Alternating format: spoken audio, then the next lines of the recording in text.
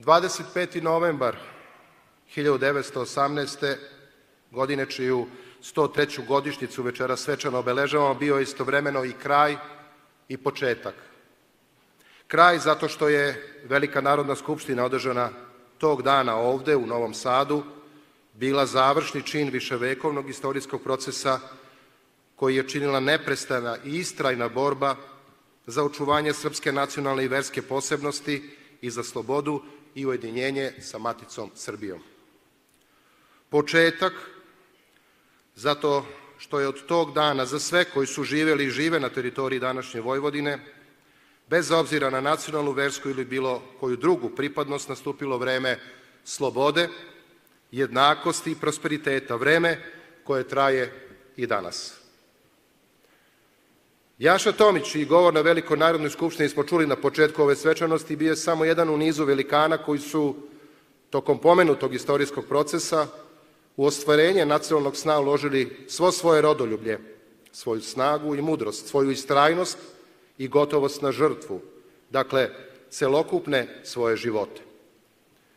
Uz to, Tomić je bio i onaj kome sudbina dodelila i veliku privilegiju, ali i tešku istorijsku odgovornost da i u burnim novembarskim danima 1918. i na samoj Velikoj Narodnoj skupštini odlučujuće utiče da se taj san ostvari baš onako kako su želeli svi njegovi veliki prethodnici i ceo naš narod direktnim prisjedinjenjem Srbiji. I on je to zajedno sa poslanicima Velike Narodne skupštine na pravi način i učinio. A niz njegovih velikih prethodnika i posvećenika snu o oslobođenju i ujedinjenju dug je i impresivan. Od članova Svete Loze Brankovića, koja je pre više od pet vekova Frušku goru posvetila podizanje manastira koji kao biseri sijaju i danas preko patrijarha Arsenija III. Čarnojevića i Arsenija Jovanovića Šakabente, koji su predvodili naše seobe na sever i patrijarha Josifa Rajačića i generala Đorđa Statimirovića, koji su 1848. godine stvarali i branili Srpsku Vojvodinu do najvećeg među velikanima, Svetozara Miletića. Onog Miletića, koji je i kada Srpske Vojvodine formalno više nije bilo izgovorio nadahnutu i vizionarsku rečenicu da je Vojvodina biće politično naroda srpskog sa ove strane. Onog Miletića koji je u srpskom političkom programu koji je trasirao put ka 25. novembru 1918. dosledno povezao dve osnovne ideje, slobodu i ravnopravnost, dakle, načelo pravne jednakosti ljudi i pravne jednakosti naroda. Onog Miletića koji je na putu oslobođenja i ujedinjenja okupio i u besmrtnost poveo plejadu velikana poput Mihajla Poli Desančića, Laze Kostića ili Jovana Jovanovića Zmaja, koji je, kako je docnije nadahnuto zabeležio najveći pisac našeg jezika Miloš Crnjanski, upravo na poziv Miletićev postao politički pesnik u vremenu u kojem je i sama politika bila poezija. I najzad, onog Miletića koji je nekolebljivu borbu za svoje ideale i ideale svog naroda platio strašnim robijama, izgubljenim zdravljem i kao posledica svega toga i sobstvenim životom. Dame i gospodo, sve što sam do sada pomenuo sažeto je u odluku Velike Narodne skupštine o prisedinjenju, čiju godišnicu večera svečano obeležavamo kao jedan od dva najvažnija datuma za srpski narod u Vojvodini.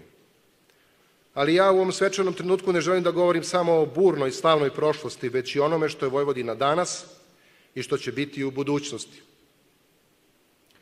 Vojvodina je danas, baš kako su na svojim odlukama obavezali učesnici Velike Narodne skupštine, mesto zajedničkog i skladnog života ravnopravnih ljudi.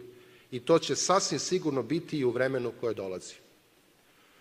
Vojvodina je danas mesto gde pripadnici nacionalnih manjina uživaju sva pojedinačna i kolektivna prava, čiji je nivo često iznad međunarodnih standarda i koja će u skladu sa zahtevima vremena koje je pred nama biti dalje unapređivana. U sve to Vojvodina je danas mesto novih, brzih pruga, novih i savremenih saobraćajnica i novih, najmodernijih fabrika. Vojvodina je danas, uprko svim izazovima koje je donela pandemija virusa COVID-19, mesto ekonomskog razvoja, rasta obima industrijske proizvodnje i izvoza, smanjene nezaposlenosti sve većih zarada. I to će biti i u buduće, sve dok ponovo ne preuzmemo u apsolutnom obimu ulogu pokretača i nosioca ekonomskog razvoja cele naše zemlje. O tome je govorio i predsednik Republike tokom protekle nedelje. Vojvodina je danas i mesto izgradnje novih i obnove postojećih bolnica i drugih zdravstvenih ustanova, što bitno olakšava nadljudsku borbu naših zdravstvenih radnika i zdravstvenog sistema u celini sa pandemijom koja i dalje potresa ceo svet. Vojvodina je danas i mesto izgradnje novih naučno-tehnoloških parkova i naučnih instituta, odnosno unapređenja visokog obrazovanja i naučno-istraživačkog rada, kao osnove za dalji ubrzan razvoj u svim sferama društvenog života.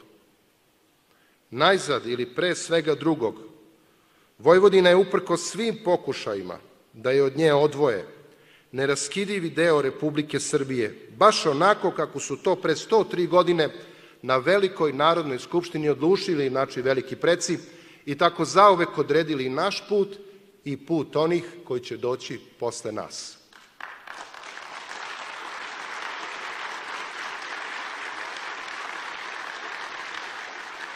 Budućnost Vojvodine je zato u zajedništvu, ravnopravnosti, posebno u svakom vidu napretka i modernizacije.